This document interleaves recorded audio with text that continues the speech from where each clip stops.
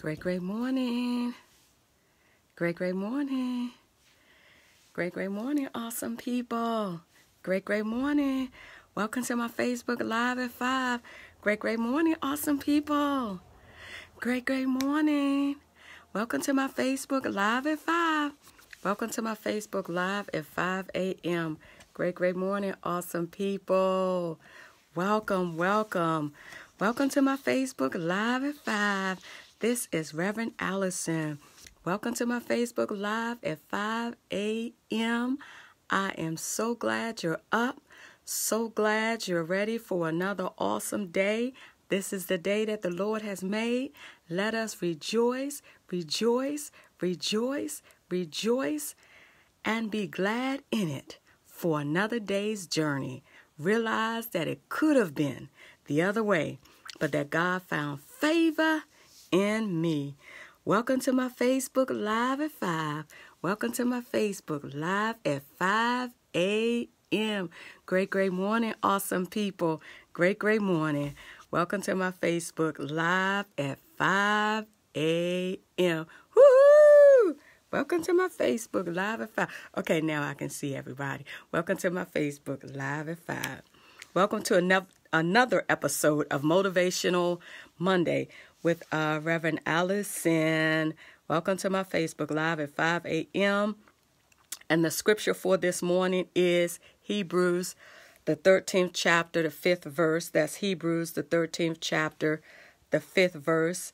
And it reads Let your conversation be without covetousness, and be content with such things as ye have. For he hath said, I will never leave thee nor forsake thee. And you know, I always love to give you another translation. And so the Message Bible says, Don't be obsessed with getting more materials. Be relaxed with what you have, since God assured us I'll never let you down, never walk off and leave. We can boldly quote, God is there, ready to help. I'm fearless no matter what, who or what can get to me. So I want you to meditate on this today. Be content with what you have. Just be content. Be thankful for what you have today. Be content in this season and cast all your cares, all your concerns, anything that you're going through. Be content in this season and cast whatever it is you're going through over to the Lord. God is still with you, God is still keeping you. So you keep your faith in the Lord. You continue to seek him at all um at any time. Let God know that um, you trust Him with your whole heart. Just be content in this season. Move past your past. Let go some things. Hold on to those things that um, you know are of value to you. But don't treasure them so much that if they should, um, you know, be taken away, you know, you're, you're kind of like all out of sorts but be content with what God has already given you in this season. Keep looking ahead, always trusting in the Lord. Be assured in God's word because He will hold you up. For God is still moving, shifting, and changing things for you in this pandemic season. God is still doing things. God is still moving. God is still blessing. God is still healing and God is still delivering in this season. That's why I said be content with what you have right now. Be content with what God is doing in this season. And don't be wise in your own eyes.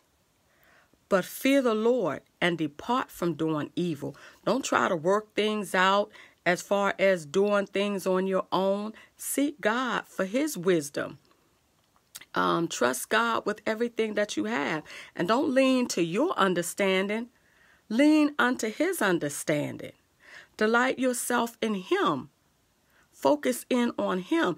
Get your focus back. Get your focus back um, on the Lord and see what it is um, He has for you. See how He wants you to line things up. See how He has strategically put things in place that will help you. Don't be dismayed about what's going on around you, for God will give you His strength to sustain you. God will give you His peace to sustain you. God will give you His joy to sustain you. Be content. He will give you what you need to carry you through every season, every day of your life.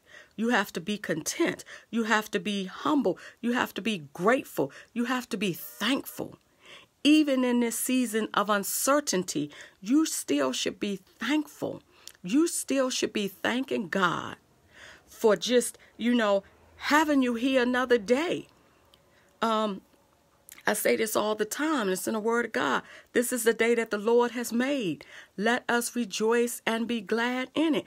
This is the day that He made. If I'm alive and I'm in the land of the living, I'm going to rejoice and be glad in it. That's why I always say great, great morning, because it's a great, great morning to me. I made it one more day. I made it in the land of the living. Be content in this season and look unto God and not unto man for the will and the purpose for your life. Look unto God for confidence. Look unto God for hope when you feel hopeless. Look unto God when you feel weary, when you feel like you can't go on. Look unto God. Why?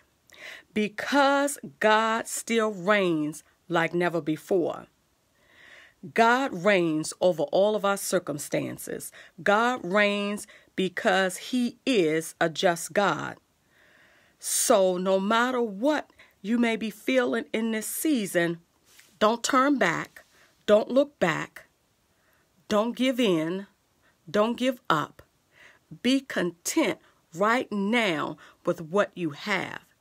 Be thankful right now for all that God has done in your life thus far. Be humble enough to recognize what He has already laid before you, what He has already done just for you.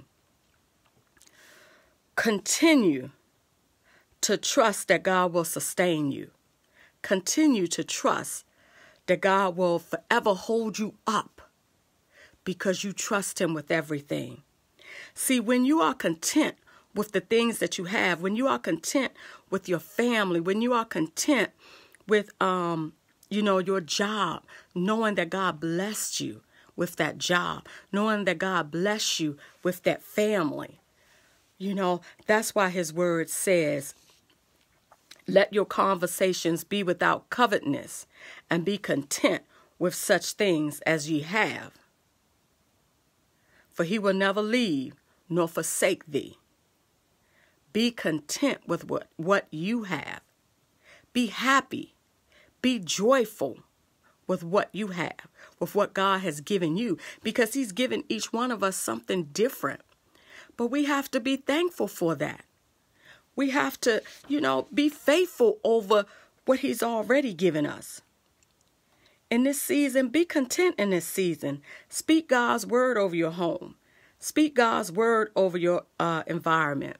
Speak God's word over your family. Speak God's word over your children. Speak God's word over your finances. Speak God's word over your health. Speak God's word over your entire life. Speak life and rebuke fear. See, we have to start rebuking things, things that may come up that don't line up with what um, God is saying to you, it doesn't line up with the promises that God has promised you, we have to start rebuking that. We have to start rejecting that. We have to start, you know, just saying no. You know, we have to be content with what God ha- has given us, but we don't want to be so um, lax that we allow other things to start entering in, that we're so lax that you know we we have stopped reading our bible because we're so so content you know, that we, we're not recognizing when the enemy comes in and, and throws a monkey wrench, wrench in our situation. But what God wants us to do in this season is to be content. When you speak God's word over your circumstances, He will give you peace. When you speak God's word over your circumstances, His peace will supersede any doubt that you have.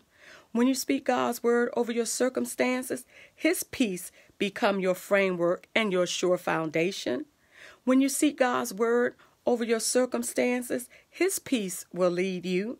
When you seek God's word over your circumstances, His peace will become your rock. God is your fortress. He is forever with you, no matter what you're going through right now. Be content in this season. Be content to trust God to see you through it. Be content with whatever it is that He has already given you. Because whatever it is, His peace will um, sustain you. His peace will pass, um, the peace of God will pass all understanding, passes all understanding, and it will keep your heart and mind through Christ Jesus. Let his peace keep you. Let his peace become your peace. See, when you are content with your life and when you are content with your family and when you are content with um, the job that God has given you, you're content with your business, you are at peace. Excuse me. And even if you're not at peace for this season right now, allow His peace to become your peace. Allow His joy to become your joy. Allow the, the love that you have in your heart become the same love that Jesus has in His heart. He's only saying in this season, you know, learn how to be content. Learn how to be thankful for the things that you have. Am forever thankful. I'm forever grateful for all that He has done in my life and that He continues to do.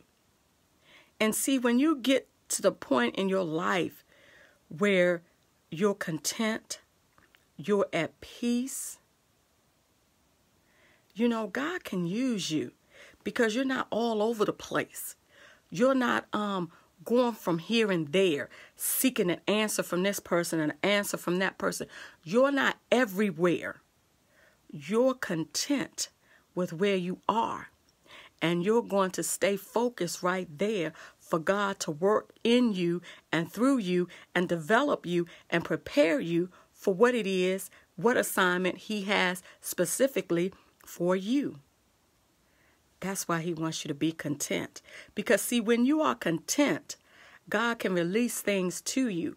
When you are um, content in this season, God can trust you with the things that he needs you to carry out in this um, pandemic season. You know, because I always say this that um, this pandemic season, it, it, this um, pandemic season, it has an expiration date. It won't be like this forever. This too shall pass. So when it all when it's all said and done, are you content enough to be able to just stay focused long enough for God to do what he needs to do right now? God is doing things right now to make a difference in someone's life, to make a difference in your life, to make a difference in my life. God is showing me things. He's revealing things to me. He's releasing things from me. He's restoring things back to me. God is still doing things. God is still, you know, he's still healing. He's still he's still answering prayers. We just have to be content with what we have. This if if this um pandemic didn't uh, teach us anything, it should have taught us how to be thankful for what we already have, how to be thankful for family, how to be thankful for our spouses, how to be thankful for our children, how to be thankful, you know, that God still has a roof over our head, how to be thankful that um, we still have a job. in this season, we just have to be thankful because I, I, I, say this too someone didn't wake up this morning, someone didn't make it to see this day. Someone closed their eyes in heaven. Someone just didn't make it uh, in this season, in this day, September the 7th. Someone didn't make it. And um, we have to be thankful. We have to be content, knowing that God loves us, He cares about us, He knows all that we're going through. All we have to do is start praying, interceding, believing, having confidence in the Lord, reading our Bible every day, meditating on His Word, trusting in His Word, believing in His Word. Because you can read God's Word and then you add other things to it, and then you stop believing what you're reading. Believe God's Word. His Word is true. Take God at His Word. Knowing that God has assured you that He will never leave you, He will never let you down. He will never stop loving you. He will never stop caring for you. Take God at His word knowing that He's for you. He's for you, He's not against you. He loves you. He has kept you in the land of the living. He has kept you for such a time as this. He has held His hands. He has His hands upon you. He has His un- unchanging hands always, always with you. He's directing you. He's um ordering your steps. He's guiding you. He's showing you the way to go. Be content in this season. You don't have to have everything right now. You don't have to have everything that you think you have to have right now. Thank God that you have your health. Thank God that you can move around. Thank God that you're not in the hospital. Thank God that, you know, you're not on the side of the road with everything that's going on. It's such a trickle down effect with everything that's going on. Um, anything could be happening right now in your life. I'm talking about anything could be happening. I can't even name some of the things that really could be happening in your life that God has shielded you from it. There's so many things that could have, should have, would have happened, but God protected you. God built a fence around you and He stopped whatever was supposed to come your way. He kept whatever was supposed to entangle you. He kept whatever was supposed to um, steal your joy, steal your peace.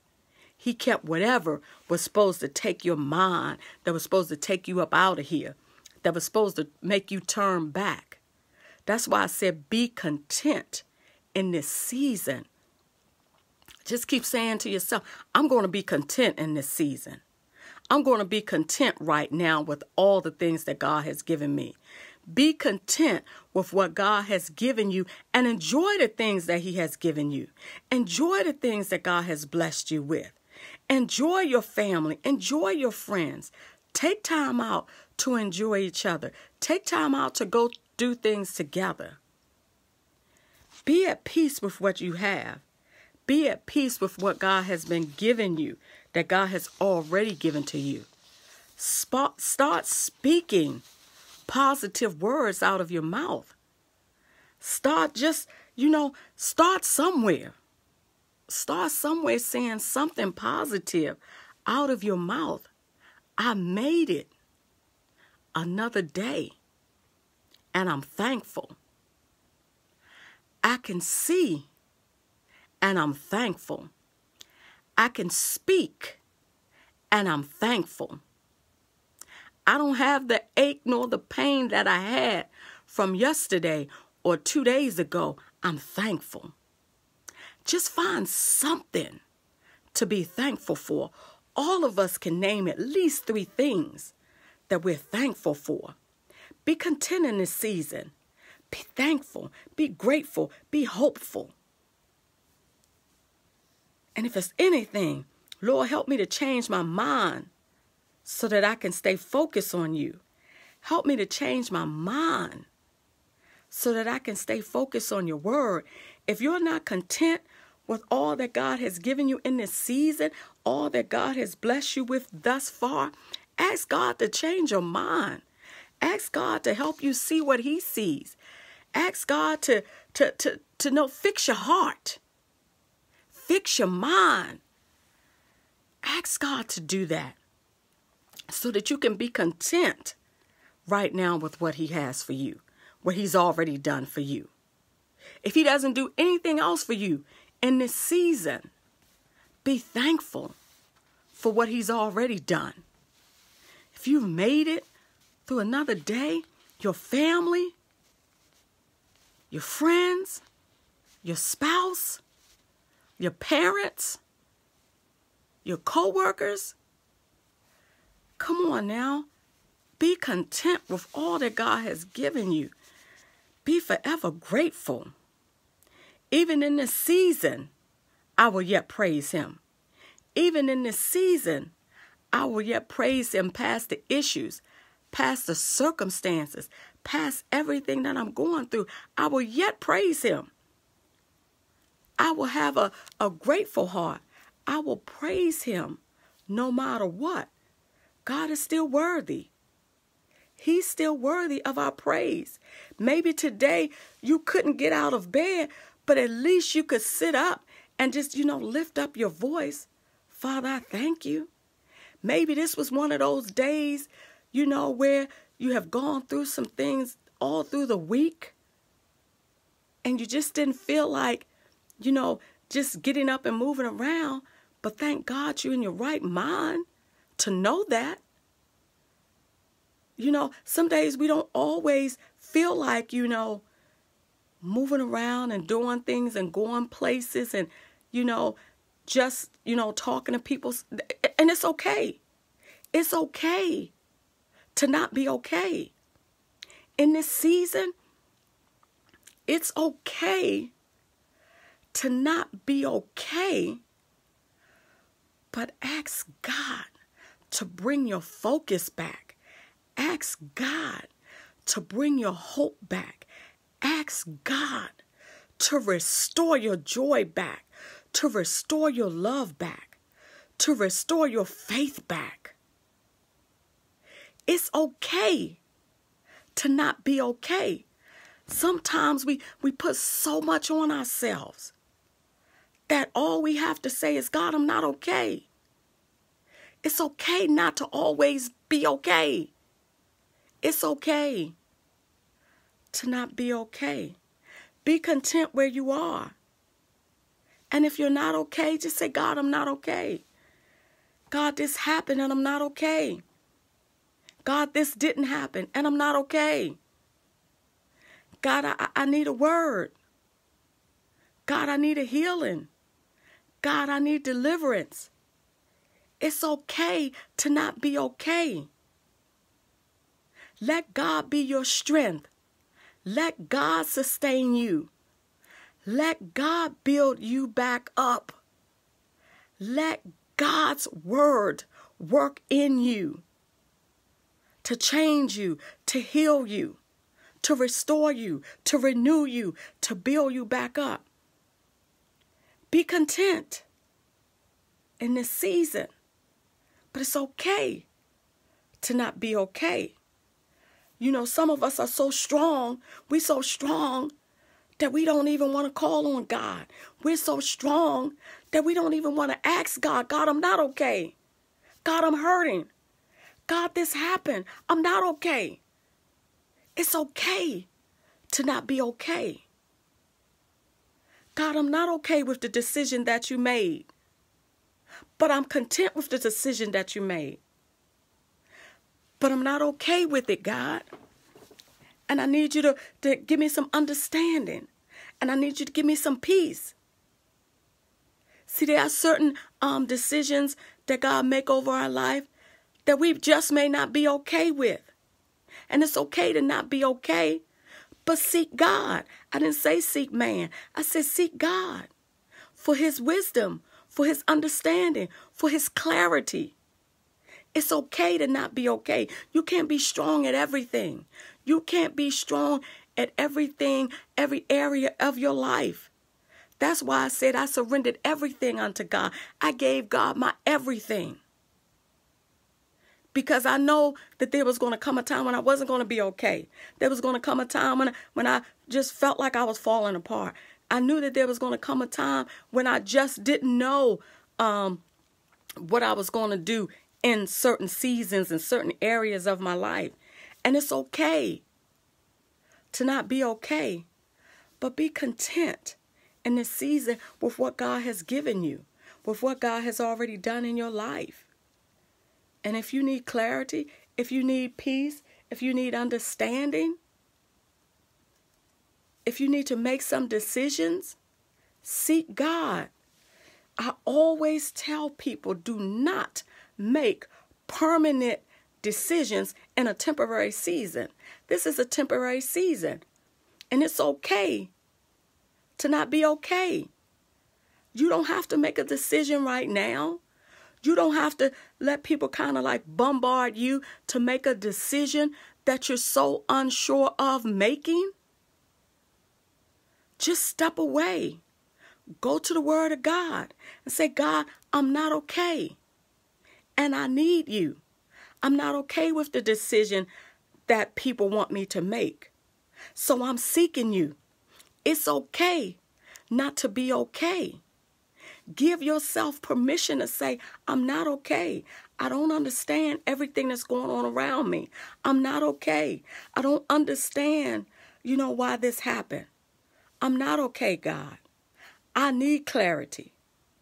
I need you to intercede on my behalf. I need you, God, to come into my life. I need the presence of the Lord to come into my situation. It's okay to not be okay, but be content in the Lord. Be content in what He has already done in your life. Be content in the assurance of what He has already done in your life. It's okay for you not to be okay because we know that God is okay. We know that God has everything under control. God is not not out of control. God has everything under control. So when we're all out of sorts and we're all ev- everywhere, all we have to do is sit still. Be still and know that he is God.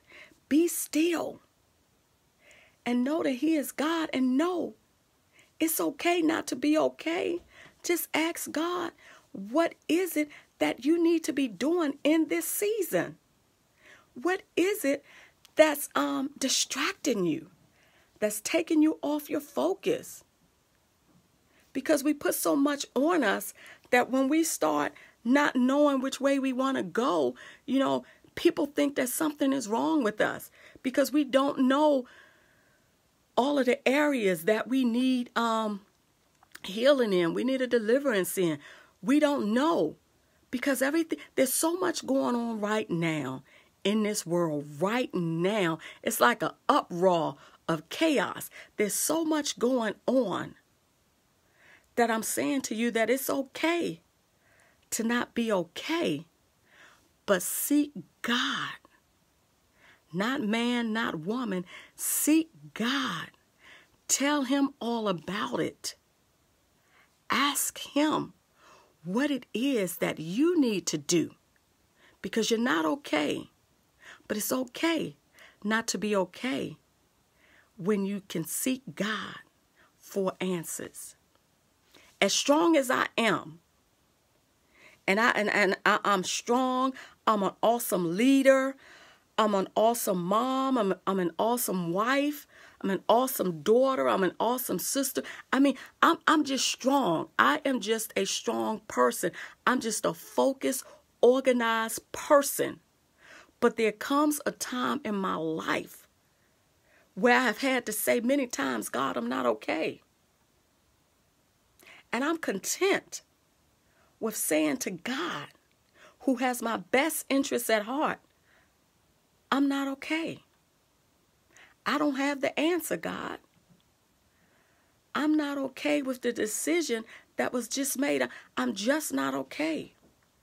But I'm content and I'm at peace with whatever the decision that you have decided to make, I'm content and I'm at peace with that because I had I know that you have my best interests at heart. But I'm not okay.